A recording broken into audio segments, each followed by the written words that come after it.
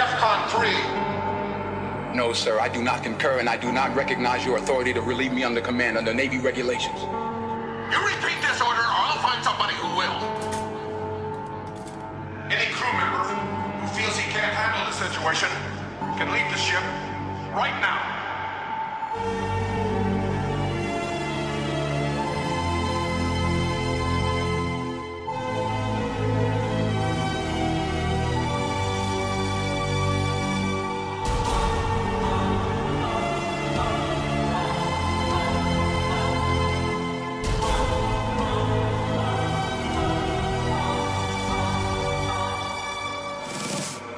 No, sir, I do not concur and I do not recognize your authority to relieve me under command under Navy regulations.